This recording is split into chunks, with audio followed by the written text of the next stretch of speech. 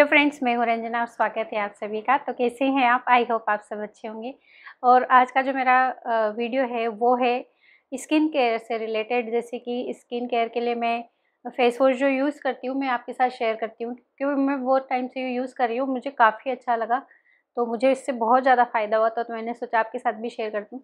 और ये आपने बहुत बार यूज़ भी किया होगा, बनाया भी होगा, बट मैंने इसमें थोड़ा सा चेंजेस किया है, जिससे कि हमारी स्किन जो ड्राई होती है, वो ड्राई नहीं होगी। और इसे जो बनाने के बाद जो यूज़ करने का जो तरीका है ना, वो आपको जानना बहुत ज़रूरी है कि आप इसे यूज़ कैसे करें। उसी की वजह से मैंने ये वीडियो बनाया। तो इसके लिए जैसे कि दालें हम लेते हैं, बेसन, चने की दाल और ये सब तो हम ये ले लेंगे इसके लिए।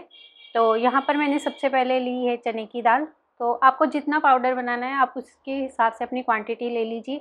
यहाँ पे मैंने दो तीन चम्मच के करीब चने की दाल ले लिए और चने की दाल लेने के बाद मैंने लिया है मसूर की दाल और मसूर की दाल भी मैंने दो चम्मच के करीब ली है, क्योंकि मस, और इन सब के फ़ायदे तो आपको पता ही है कि स्किन के लिए कितना अच्छा होता है। तो मैं आपको उनके फ़ायदे नहीं गिनाऊँगी, मैं आपको इनके बना, बनाने का और यूज़ करने का तरीका बताऊँगी कि इसे कैसे यूज़ करना। मेन जो तरीका होता है ना यूज़ करने का, उसी से जो हमारी स्किन का बहुत ज़्यादा, जैसे मैं पहले यूज़ करती थी, मुझे पता नहीं था तो सिंपल पानी से यूज़ करती थी तो बहुत ज़्यादा मेरी स्किन ड्राई रहती थी। लेकिन अभी जब मैं यूज़ कर रही हूँ तो उससे मेरी स्किन एकदम नॉर्मल हो गई है। तो मेन यूज़ करने का जो तरीका है वो मैं आपको बताऊँगी। तो वीडियो को एंड तक ज़रूर देखिए क्योंकि मैं एंड में नहीं बताऊँगी बीच में बताऊँगी। तो आपको वीडियो एंड तक ज़रूर देखनी पड़ेगी इसके लिए। तो आ, उसके लिए पहले हमने ले ली चने की दाल फिर नेक्स्ट हमने लिया मसूर की दाल। तो मसूर की दाल आप ले लीजिए दो तीन चम्मच जितने आपको बनाना है उतनी क्वांटिटी आप ले लीजिए। तो यहाँ पर मसूर की दाल ले लेंगे हम और फिर लेंगे हम मूंग की दाल जो कि मूंग की दाल स्किन के लिए बहुत अच्छी होती है। इससे पिंपल्स वगैरह नहीं होते स्किन ड्राई नहीं होती स्किन में जो भी मतलब आपको डलनेस वगैरह जो भी होती है वो नहीं होती है। तो उसके लिए मूंग की दाल ले लेंगे। तो मूंग की दाल भी आ, करीब दो दो मतलब सारी जो दालें हैं सारी बराबर क्वांटिटी में लेनी है आपको। दो तीन अगर आप तीन चम्मच चने की दाल ले रहे हैं तीन चम्मच मसूर की दाल ले लीजिए तीन चम्मच आप मूंग की दाल ले लीजिए। फिर नेक्स्ट जो लेंगे, हम वो लेंगे। मेन इंग्रेडिएंट जो है वो है सौंफ। क्योंकि सौंफ, जैसे कि अभी समर सीज़न स्टार्ट हो गया है और बहुत ज़्यादा गर्मियाँ हो रही हैं तो जैसे आप सबको पता ही होगा कि सौंफ खाने में भी हमारे शरीर को ठंडक देती है। तो अगर आप उसे स्किन पे लगाएँगे तो आप स्किन में एकदम मतलब ठंडा रहेगा, कभी भी आपको पिंपल वगैरह नहीं होंगे तो उसके लिए सौंफ आपको उसमें ऐड करनी है। और जब हम फेस वॉश करते हैं ना तो सौंफ की बहुत अच्छी खुशबू आती है।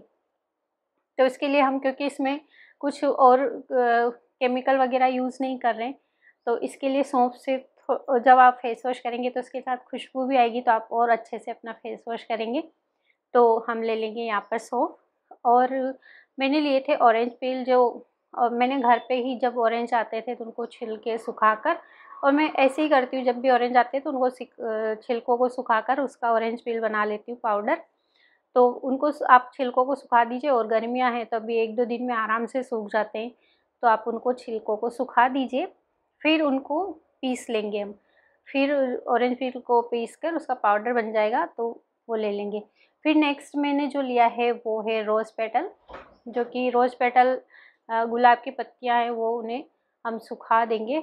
और सुखाने के बाद जैसे कि एक दो दिन में ही आराम से सूख जाती है तो पहले आप गुलाब को धो लीजिए उनको, रोज़ पेटल अलग कर लीजिए पत्तियों को और उनको अच्छे से वॉश कर लीजिए और फिर धूप में नहीं सुखाना है, उनको छाया में ही सुखाना है तो पंखे के नीचे भी आप सुखा देंगे तो एक दो दिन में वो आराम से सूख जाएगी। तो आप ऐसे सुखा दीजिए वहाँ पर और उसका भी हम पाउडर बनाएँगे तो इन, इनको सबको हम लेक के पाउडर बनाना है हमको। तो इसके लिए सबसे पहले हम दालों को थोड़ा सा रोस्ट कर लेंगे। उससे क्या होगा ना, जो भी उसके अंदर जो नमी होगी और पीसने में वो एकदम स्मूथ सा पीस जाएगा। इसलिए हम थोड़ा सा रोस्ट करेंगे। एकदम ज़्यादा भूनना नहीं है। बहुत हल्का सा ताकि उसकी जो भी नमी हो, वो अच्छे से निकल जाए।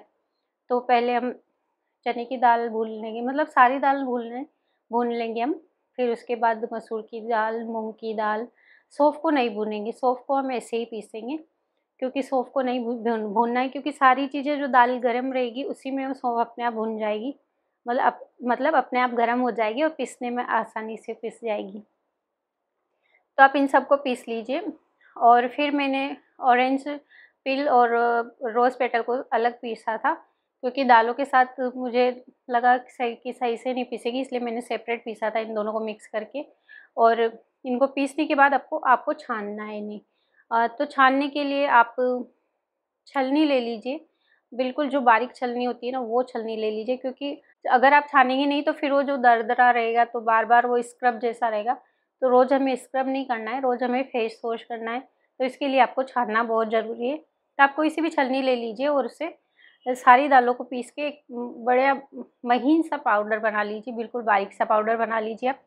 उसके बाद जब हम उसको छान लेंगे छलनी से और उसके बाद जो मैंने रोज़ पेटल और ऑरेंज पिल पाउडर बनाया था, उनको भी हम छान लेंगे, दोनों को मिक्स और फिर सारी चीज़ों को मिक्स कर देंगे।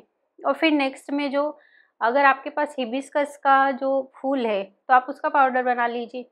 और यहाँ पर मेरे पास हिबिस्कस का जो पाउडर था, मैंने वो ही यूज़ किया है।